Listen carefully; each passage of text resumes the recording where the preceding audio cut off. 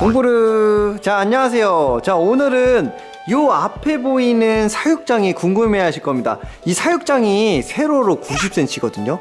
짱짱 크죠? 자 이 사육장 안에 어떤 것을 기를 것이냐면요. 자 짜잔! 바로 giant day gecko라는 진짜 진짜 색깔이 이쁜 gecko인데요. 자 이 친구 같은 경우에는 색깔이 와 네온 색깔이라고 하죠? 보통 네온 색깔 와 진짜 이쁩니다. 이 친구들이 지금 곤충 하모니에 많이 왔어요. 그 다음에 자이언트 데이게코 말고 피콕 데이게코라고 해서 이 친구 색깔도 엄청나게 이쁜데 제가 이 친구들 어떻게 생겼는지 조금 보여드리고 그 다음에 세팅하는 방법 그리고 사육 방법에 대해서 오늘 설명해 드리도록 하겠습니다. 자 여기 보시면요. 이야 이게 바로 자이언트 데이게코입니다.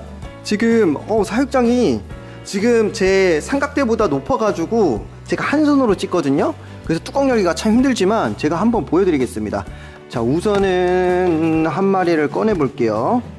자 지금 제가 한 마리 꺼냈는데 색깔이 워낙 이뻐가지고 사실 조명빨 이런 게 없습니다. 색깔이 워낙 이뻐요. 자 이렇게 자이언트 데게이코가 한 마리 풀었고요. 제가 또 몇 마리 한번 더 풀어 볼게요. 자, 와, 진짜 귀엽다. 아, 지금 촬영하는 개체들 말고도 많은 데이게코가 왔어요. 지금 총 4종류가 들어왔고요. 거의 20에서 30마리 사이가 가량 들어왔는데, 자, 이런 식으로 생겼습니다. 이 친구들은 마다가스카르 섬에 살고요. 오, 좀 쏜다. 마다가스카르 섬, 여기 사진에 보이는 이쪽 지역에서 살고요. 얘네들은 부치류 데이게코기 때문에 벽면에 이런 먹이 그릇이랑 물 그릇을 넣어주는 게 좋습니다. 자, 이거 이렇게 여기다 붙여놓을게요. 여기다 슈퍼푸드랑 뭐 물 아니면 칼슘제 이런 거 구별을 해주시면 되고요. 얘네들은 먹이 주는 방법이 제일 간단한 게 슈퍼푸드도 좋지만은 과일, 젤리, 곤충 젤리도 잘 먹고요. 그 다음 귀뚜라미를 투여를 해서 먹이면 됩니다. 사육 온도 같은 경우에는 27도에서 30도 벽면에 물을 뿌려주면 물을 핥아 먹고 사는데요. 자, 이 친구는 giant day gecko 제가 식물을 이렇게 큰 거를 준비를 지금 주문은 해놨는데 아직 안 온 상태예요. 그리고 대나무도 같이 넣어주면 굉장히 이쁜 친구인데요. 자 이 친구는 peacock day gecko라서 그렇게 사이즈가 크진 않지만 굉장히 귀엽습니다. 한번 사육장에 여기 있는 모든 day gecko를 한번 다 풀어보도록 하겠습니다. 와 진짜 색깔이 와 진짜 색깔이 너무 이쁜 것 같아요.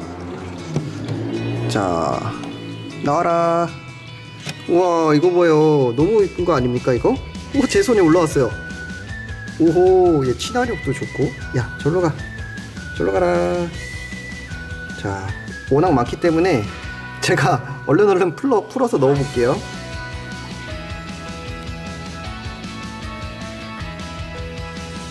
자 여기 보이는 피콕 데이게코도 아까 giant day, day gecko랑 똑같은 사육 방법이고요 부치류이기 때문에 여러분들 벽면에 유리 사육장으로 해주는 게 제일 좋습니다. 그게 아닐 때는 플라스틱 사육장으로 해주시고요.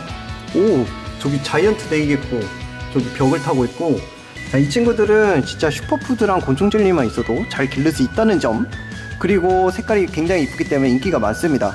자 또 어디 갔지? 와 이 친구는 아직 좀 어두운데 아마 나중에 컨디션이 돌아오고 탈피를 하면 색깔이 이뻐지지 않을까 싶습니다. 한 마리를 손에 올려볼게요 얘네들은 사람 손도 그렇게 무서워하지 않아서 이렇게 손에도 잘 올라오는 모습을 볼 수 있습니다. 자, 어 색깔이 근데 영상으로 가보니까 그렇게 이쁘게 안 나오네요.